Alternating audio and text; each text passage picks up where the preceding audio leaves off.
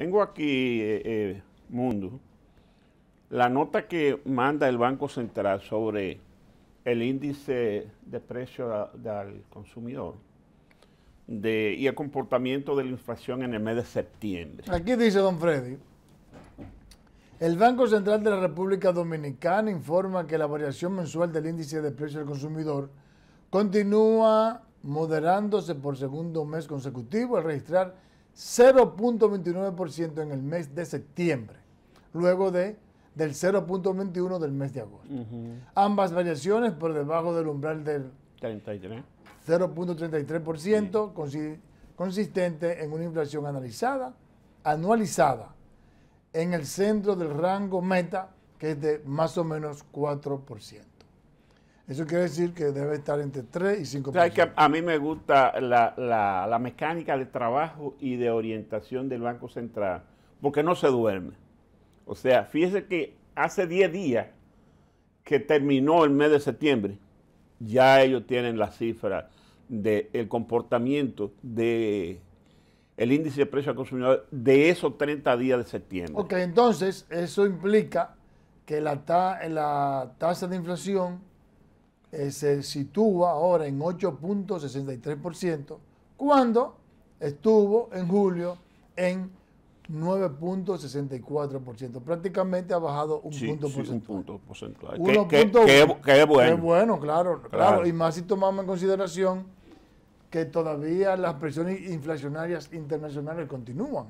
Por ejemplo, fíjese que, fíjese que es por eso que la Reserva Federal de los Estados Unidos anunció que va a aumentar en dos ocasiones más en este año y se proyecta que puede llegar de 4.25 a 4.5 antes de terminar el año. Así es. Eso es simple y sencillamente porque sigue las presiones inflacionarias. Y lo mismo, lo propio han hecho los bancos, el Banco Central Europeo y el Banco Central de Inglaterra. Y fíjese que ya eh, la OPEP anunció que va a disminuir la producción de, petróleo en 2 millones, creo, creo que 2 millones de barriles diarios, lo que va a implicar un repunte del aumento del precio del, del, barril del petróleo que implica presión inflacionaria. Así es.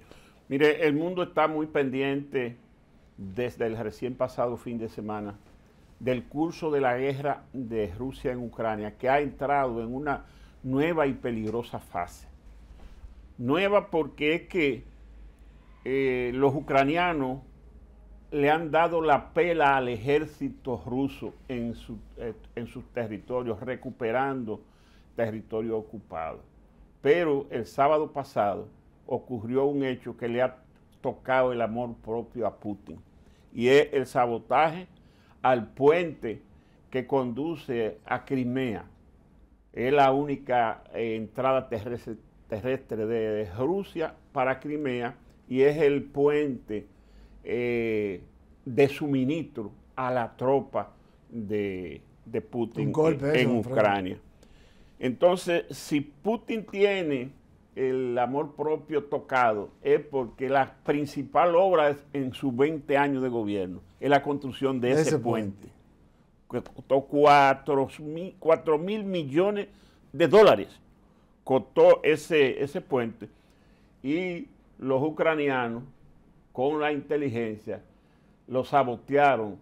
Y eso le ha dolido mucho a Putin, que inmediatamente el mismo sábado comenzó la más feroz andanada de lanzamiento de misiles, 75 misiles diarios desde el sábado está, está tirando Rusia sobre Ucrania, sobre todo a la población civil indiscriminadamente.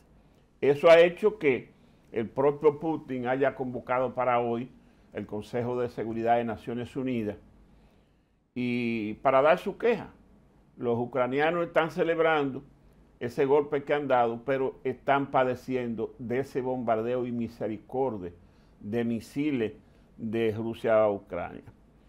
La gente entiende que el curso de la guerra pudiera decidirse en los próximos días o de componerse.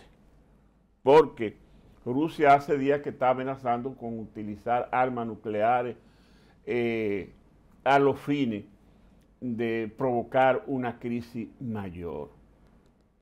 Por eso digo, el, el curso peligroso de esa guerra hay que observarlo muy de cerca, porque la reacción de Rusia no va a ser esa, lanzar, lanzar 75 misiles diarios a la población civil de Ucrania. No, se espera otra reacción mayor.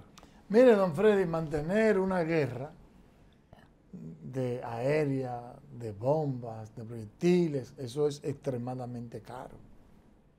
Eso es insostenible para cualquier país del mundo, por más rico que sea. Entonces, eh, Rusia está entrando en un espacio de desesperación. Porque Ucrania, aunque es un país más pequeño, de alguna u otra manera, está recibiendo el apoyo de grandes potencias. Está Estados Unidos, la Unión Europea ha estado del lado de, Ucrania, en la causa ucraniana, y de una u otra manera ha estado ayudando. Entonces, financieramente, se le va haciendo más fácil a Ucrania controlar esto. Por eso, Ucrania, a pesar de ser un país pequeño, relativamente con, con Rusia, y especialmente desde el punto de vista militar, ha estado resistiendo. Pero cuando ya Putin empieza a hacer ese tipo de amenazas, y ya, eh, digo, perdón, eh, eh, si Putin ha hecho ese tipo de amenaza, entonces ya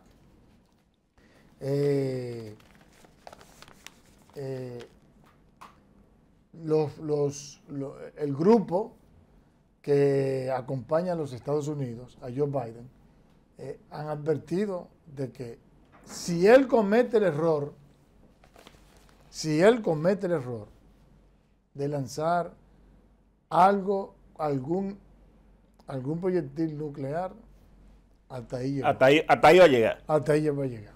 y ya usted sabe lo que eso va a implicar. Ah, cuando hablamos de países que ambos están eh, eh, adecuadamente, sumamente armados en, el tema nuclear. Eso sería terrible. Así es. Mire, finalmente, eh, la Academia Sueca de Ciencia dio a conocer hoy quiénes fueron los ganadores del Premio Nobel de Economía. Se le distribuyó a Ben Bernanke, fue presidente de, la Reserva, Federal.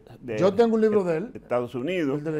Douglas Diarno, Philip Davy, por el tratado sobre banco y crisis financiera. Es decir, que con en la entrega del premio de economía terminan ya los premios Nobel del 2022.